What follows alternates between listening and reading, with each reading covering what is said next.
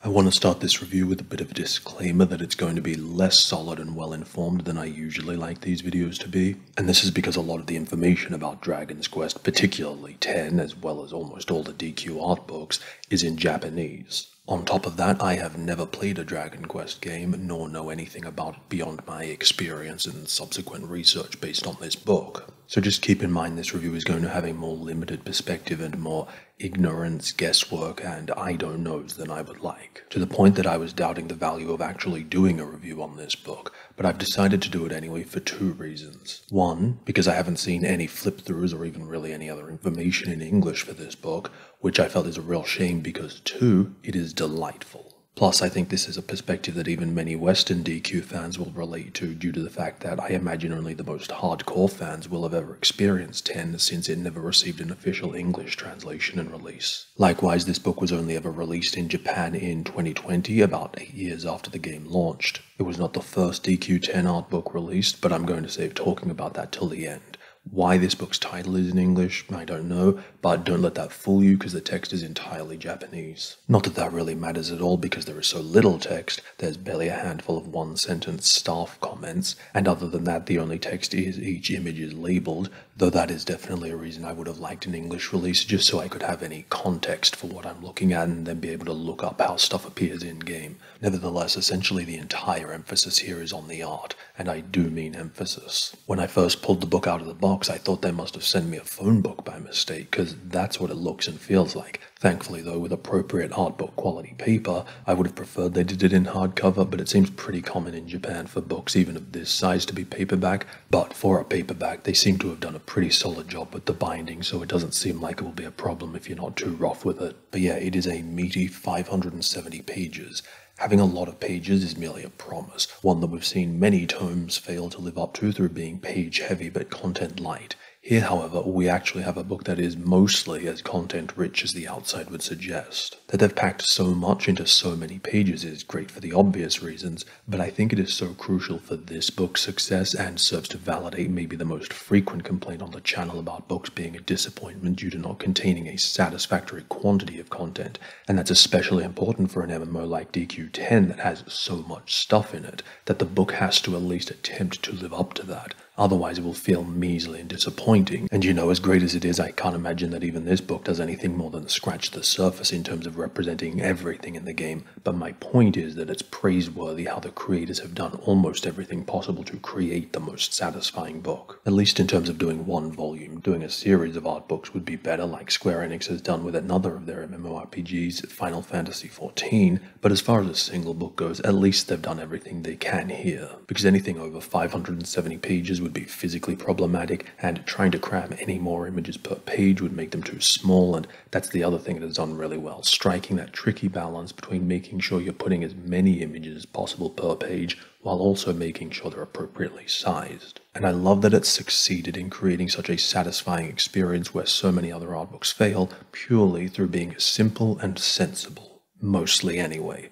Because one of the two disappointments I have with the book is that it's frustrating that I can't call the sizing and layout perfect due to a tiny number of uncharacteristically dumb exceptions that spoil that. There are very few cases where artworks have been run over two pages, ruining the image and leaving wasted blank space.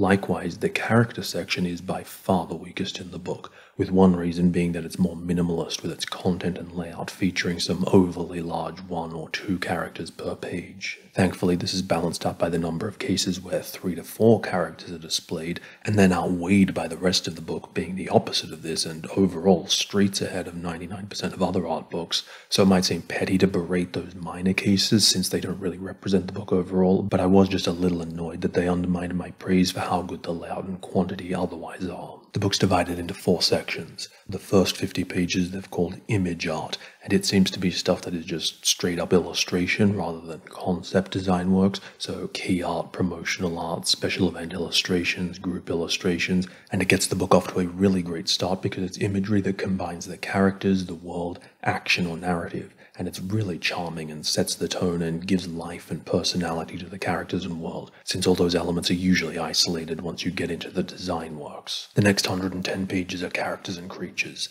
There doesn't seem to be any dedicated monster or creature design section, they're just mixed in with all the characters. There also doesn't seem to be a whole lot of them, at least in terms of what I would expect for an MMORPG that has been around for eight years. Me pointing out the creature's representation here isn't necessarily a criticism at all, rather just an observation for you to determine if that represents anything relevant. What is a criticism, though, is sort of a part two of my earlier gripe with the character section being the weak link in this is an art book. So where the issue with the quantity and layout in this section was unimpressive in a few cases, but in terms of concept, visuals, value, and interest, the character section is almost entirely unimpressive. By which I mean it is almost exclusively just a collection of one final design illustration per character. Now, as someone who has no prior experience with the game, I did enjoy looking at these characters because it's all new to me. And so if you're in the same boat or a DQ fan who just hasn't played 10, then this won't matter much. However, that's not the audience this book should be catering to. So, both in terms of imagining myself in the shoes of a fan who's played the game,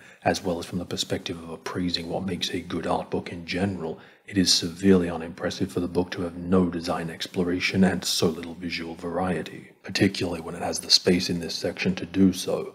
There are a couple of caveats to this. Firstly, there are a few instances where one character will get two or more images, or will actually feature some model sheet type stuff or sketches, none of which is especially enthralling, but still of far more visual interest than the white space surrounding most characters. The other thing is that my ignorance could be causing me to be a little out of line with this criticism. Some of the characters that look similar but also distinct I'm reading as final designs for two separate characters when in reality they might actually be alternate designs for one character. Likewise, for all I know, some of these images might be showcasing characters and monsters that were cut from the final game which would be cool. But honestly, I think this is another example of me desperate to give the book the benefit of the doubt despite not really seeing any of this actually being the case. Thankfully, though, the environment section is much more interesting and better handled all round, which is good because at 350 pages, it makes up 60% of the book. And so you definitely want to keep in mind just how much of this book is environment art and that you'll be happy with that even to the deficit of other areas.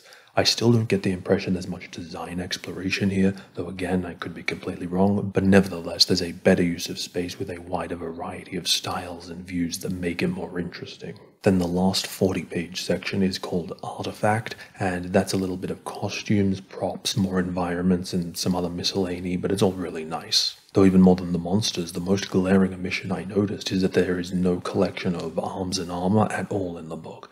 I don't think that's categorically bad, but surprising since it's a complete omission of a pretty standard art book inclusion, so perhaps worth mentioning. Also, on the inside of the back cover, the book has a little card with a code to unlock an in game item. If that's important to you, you'll want to look into if the codes are still valid and if you're buying the book secondhand to make sure it hasn't already been redeemed. At the start of the video, I mentioned this wasn't the first DQ10 art book, nor was it the last.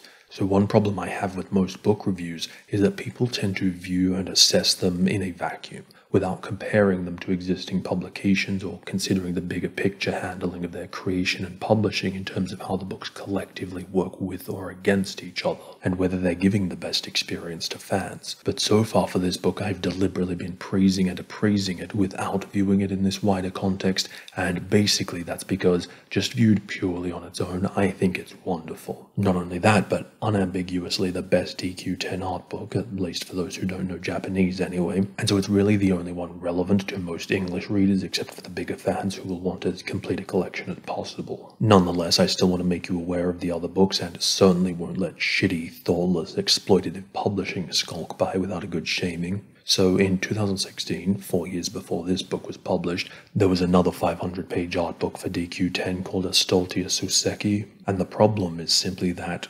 remember earlier when I said the only way they could have made this book better was releasing multiple volumes? Well, they did that, but rather than using the opportunity to have the books work together to create the ultimate rewarding DQ10 library, for each book to complement and build on the last, going deeper and into new things, instead, they've just recycled most of the same content across the books. And I hate that then viewing the book in this context, I have to backpedal on all the praise I was giving the creators earlier about how they've done everything they possibly can to put as much in here and give the fans the most satisfying experience, only to then be like, yeah, that's actually meaningless, since they had the opportunity to create multiple volumes and instead they've just repeated so many of the images from an earlier book. So, in terms of how Astoltia Soseki compares to this book, it's hard for me to say definitively because I have never actually seen the contents beyond a couple of pictures online. So, that's what I'm basing my criticism on, meaning this is another area where I could be very out of line with my comments, so just keep that potential ignorance in mind. But it is also based on what I've observed with Square Enix's handling of Dragon Quest books overall, so I'd be very surprised if I'm mistaken. Soseki appears to be a lot more text heavy and contain a wider variety of images like screenshots and storyboards, but also exclusive artwork, sketches, color pieces. In fact, I even noticed a weapons section, so the completist fan will be interested in this book, even if no doubt begrudgingly. But from what I saw, it looks like mostly overlap between the two books. My big question is Does the Art of Astoltia contain anything that the Soseki book doesn't? You would suspect so based on it having more pages and no text taking up space. However, the artworks in the Art of Astoltia are reproduced much larger, but in a good way. It's hard to say without physically seeing, but the reproductions in the other book look too small. But which of the two books contains more or better images, I can't definitively say, but I am confident in saying that for English fans at least, The Art of Astoltia is the superior and more enjoyable art book. But guess what? Wasting the opportunity to create a meaningful multi volume series and instead annoying fans with rebuying much of the same content Doing that once wasn't enough for Square Enix. No, just a year after The Art of Astoltia, they released another DQ10 art book called Dragon Quest X Online Material Museum Astoltia Secret Journals. And I actually have that one, so we'll take a look and do a more thorough examination of how it compares in the next video.